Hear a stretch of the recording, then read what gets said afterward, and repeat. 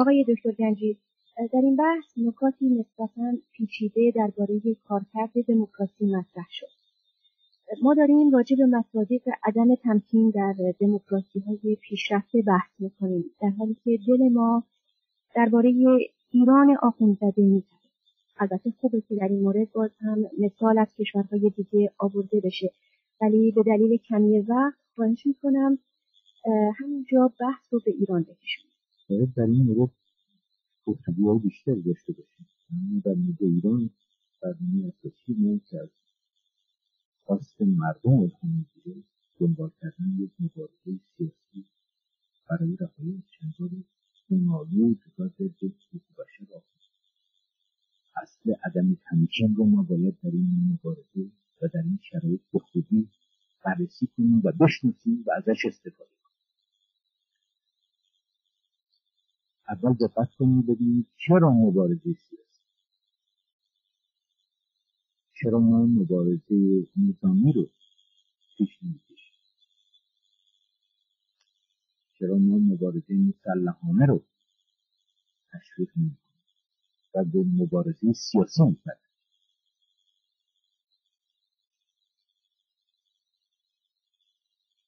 تجربه ما میگه که مبارزه مسلحانه ممکنه در برانداختن رژیم موفق بشه.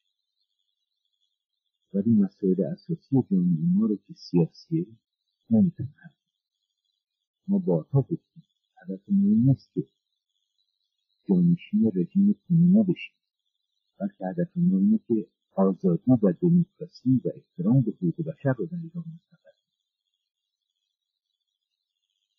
بیشک در هدف رهایی از چنگال خوناشان رژیم کنونی هم مستقر. ولی دشمن سیاسی یعنی رژیم منتقد با مبارزه سیاسی نیست.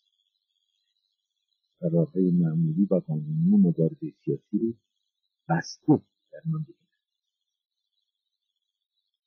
هدف دشمن ما اینه که ما مجبور بشیم یا به مبارزه مسلحانه بپردازیم. این مبارزه رو رها کنیم به همین جهتی که دشمن زیر پوشش فرایز دینی مثل امر به معروف و نهی از منکر به اقدامات خشن و قهرآمیز بر علیه مردم متوسط دشمن امیدواره با این تعرضات وحشیانه مردم رو ساکت کنه و اگه نشد مردم رو مجبور به عکس العمل حاد و قهرآمیز بکنه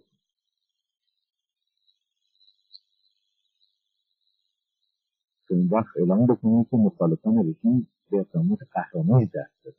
و رژیم ناگزیر از به کار بردن ابزار قهریه هست علیه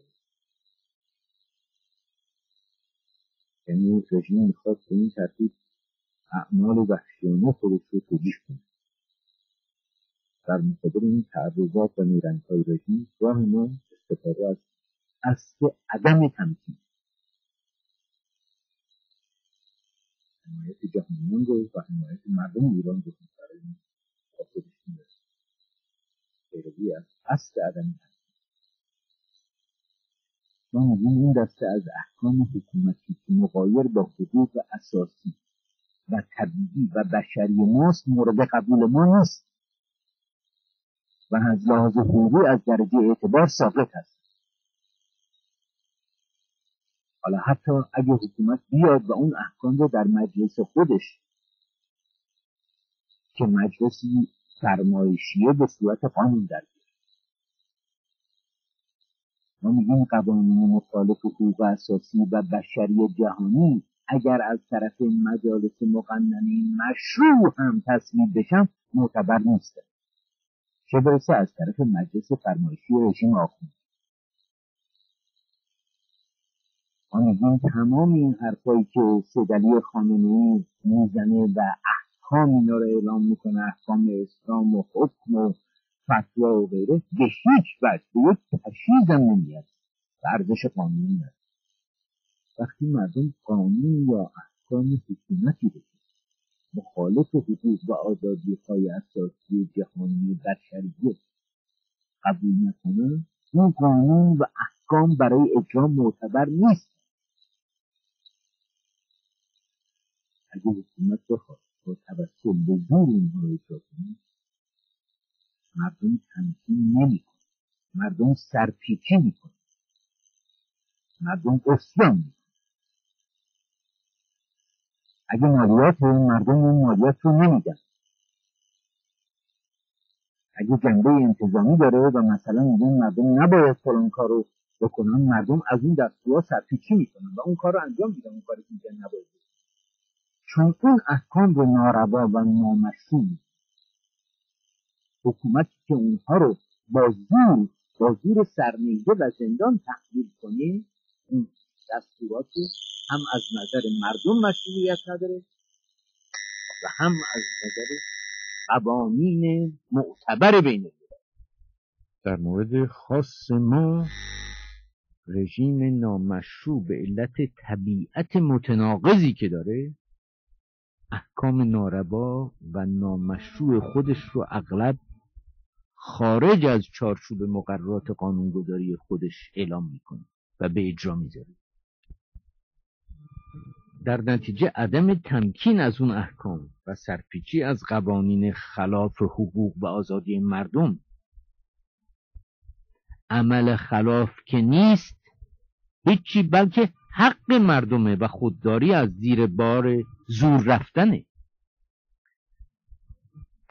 همین جنجال امر به معروف و نهی از منکر رو اگه مورد بررسی قرار بدیم به خوبی می‌بینیم که نه اعتبار قانونی معتبری داره. حتی در معیارهای مخدوش خود رژیم و نه برای اجرای اون مقررات و آینامه خاص اینا وضع کردن. روزخونی که امروز عنوان رهبر کشور رو به خودش اختصاص داده بدون مطالعه یا مشورت قبلی. حتی با مجلس فرمایشی خودشون در روز آشورا به یک روزخونی پرداخت و در اونجا گفتش که بسیجی ها رو برای امر به معروف و نهی از منکر به جون مردم بندازیم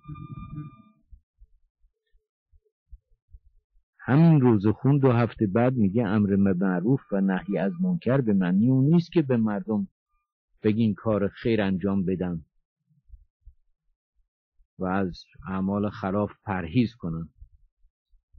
بلکه به معنی اونه که بسیجی ها معمورین تفتیش عقاید بشن و کارشون جاسوسی باشه و تفتیش عقاید باشه. مثل نیروهای اس اس هیتلری یا جاسوسان حزب کمونیست شوروی در زندگی داخلی مردم دخالت کنند. و به آزار و ایذای مردم بپردازند تا مردم شاید با امید اینکه مردم به فکر مخالفت با رژیم نیفتند. به این نوع دستورا باید گفت که این نوع دستورا حرف زوره نه خود حکم حرفای خامنه اعتبار قانونی داره نه مجری در همین چارچوب همین رژیم.